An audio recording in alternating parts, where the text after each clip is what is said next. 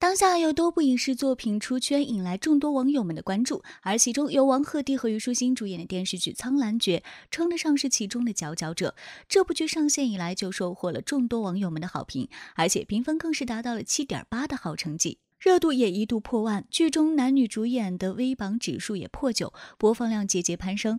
在剧集刚开播一个小时之后，就被韩国买下了版权，算是一次成功的文化输出。而随着热播，这部剧目前在多国都有了很大的热度，在外网还出现了不少有意思的玩梗弹幕。然而，这部剧女主角虞书欣的颜值偏偏没有征服韩网观众挑剔的心，于是就出现了一些不好的言论。总结一下这些评论，大致就是说，王鹤棣是真的帅，他的长相撑起了整部剧。相比之下，虞书欣就打了折扣。她的颜值、声音让很多人弃剧。不仅如此，还有一些人拿出了同为国产剧的《星汉灿烂》来作为比较，认为同为九五后小花，赵露思的颜值更胜于虞书欣。虞书欣的长相自然跟丑沾不上边儿，五官很协调灵动，但是部分网友认为她的容貌过于普通，不足以担当女主角，不太贴合画面美学。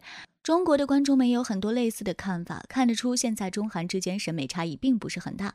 单纯看虞书欣平常的照片，她的长相跟丑沾不上边，五官很协调灵动，但是她长相缺陷也很明显，需要一定妆容造型的衬托，也需要挑角度。在有些妆容和造型下，再加以合适的韩系打光和滤镜，她是真的可以美出一种韩国女团范儿。在她青春有你二舞台时期，其实凭借着一些舞台直拍圈了不少的粉，本身比较柔和。小清纯的长相，搭配上夸张的舞台妆容，彻底放大了眼睛，显得五官更立体深邃，美感自然就来了。但是在电视剧中，失去了阴影粉浓厚的妆容，失去了舞台灯光照射的氛围感，气场会进一步得到削弱。再加上她在剧中的形象是一个天真无邪的姑娘，为了展现出自己的天真和可爱，会故意卖力，做出一些很多小女孩一样的撒娇卖萌的表情。但是在这些表情下，很容易就会显得脸垮法。令纹加深，一下子就失去了少女感。而且这部剧也暴露了虞书欣长相上的短板，就是只适合可爱妆容，走其他妆容风格较为违和。比如前期虞书欣所扮演的角色，一直是一棵普普通通的兰花草，被养在司命座下。她的妆容和穿搭造型都是可爱风格。一旦接受了她的人设，不要过分纠结她的五官缺点，忽略她的侧脸和大表情，会觉得她演的还不错。软萌的气场跟小兰花很贴合。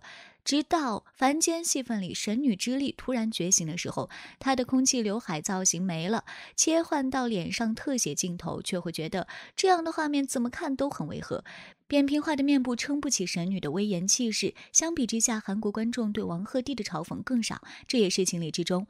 王鹤棣面部很立体，可走韩系花美男风，也可走古装贵公子风，在剧中高光戏份多，而且在该剧的热度加持下，王鹤棣一度飞跃成顶流，热度资源高涨。如今接触的剧本也是 S 加的长林，但是还没有最终确定，片方也在顾虑。长林这个饼已经溜过了陈晓、任嘉伦、肖战、龚俊以及张凌赫。等男演员，如今又传到了王鹤棣手上，女主依旧是雷打不动的刘亦菲。前几天就有消息说，王鹤棣拿到了一个很好的资源，别的小生谈了很久都没有谈下来，似乎和长林的饼对上了。不过这部剧到现在一个主演都还没定，都是在接触阶段，而且就算刘亦菲真接了，男主也要他点头。除此之外，宋茜的大女主古装剧《女帝本色》，她也在备选名单里。《仙剑》《狐妖小红娘》《王权篇》《神隐》等都是大热项目，也都在六。他他家是准备挑个最合适的接下，最快下个月就能有消息传出来。之前和孙怡那部新戏对外说是延期，但其实项目本身差不多快黄了，主演乃至剧组幕后阵容都要大换血。据说王鹤棣特别想和热巴合作，最近他火了后就一直在找人引荐。网传的那个不二之臣影视化女主邀请迪丽热巴出演骄纵善良的大小姐纪明书，男主邀请王鹤棣出演腹黑天之骄子岑森，就连芒果台也挺喜欢他。的除了在上的《你好星期六》外，还邀请他去了中秋夜晚会，《密室大逃脱》也找了他去当嘉宾。值得一提的是，王鹤棣主演的这三部电视剧完全是呈一个上升的态势。第一部《流星花园》的评分区三点三分，到第二部《江夜二》的评分上升为五点三分，再到这部《苍兰诀》的七点八分，这个分数的上升可以说是一路开挂冲上去的。前两部作品均低于六分的评分，分数上来说是没有及格的。然而到了苍兰诀，王鹤棣终于找回了自己，在大荧幕上尽情释放自己的演技和才华，才有了目前的观众眼中的王鹤棣。虽然前期网友们对于这部剧的评价都非常不错，不过后面却引起了不小的争议，特别是这部剧的大结局的剧情。八月二十九日，电视剧《苍兰诀》在开播二十多日后，终于迎来了大结局。而在大结局之前，主演虞书欣就发文告别角色，表示就要大结局了，怎么这么快？从前一天就开始伤心了，好舍不得小兰花宝宝。再发一组存一百零时拍的胶片照，还晒出了一组花絮图片。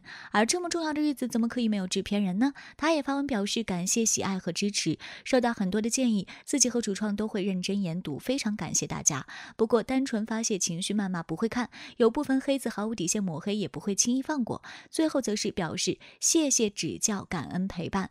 希望平安喜乐，不再孤单。不得不说，这写的还真的是声情并茂。不过，对于一部剧的评论，还是要看剧情的。在万众期待之下，《苍兰诀》的大结局终于来了。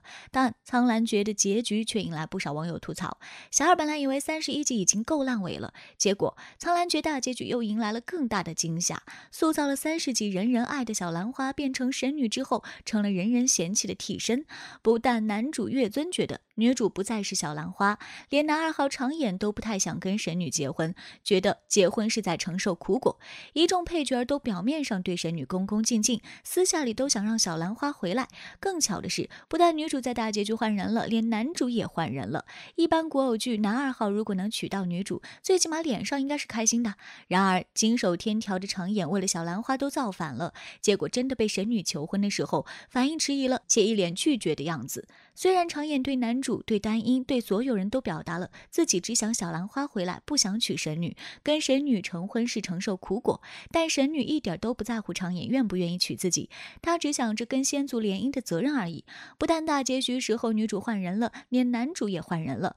由于被太素附体，男主自己求死之后，元神保留在古兰里面，又有一丝分裂出一个新男主。大结局中，当神女盯着古兰的时候，神女一回头，新男主就咔嚓一下。闪亮登场，然后说：“我回来了。”拜托，就跟女主玄神种出的只会是神女，不是小兰花一样，用古兰种出的也只会是一个新男主，而不是那个天下第一 B King 的东方大强。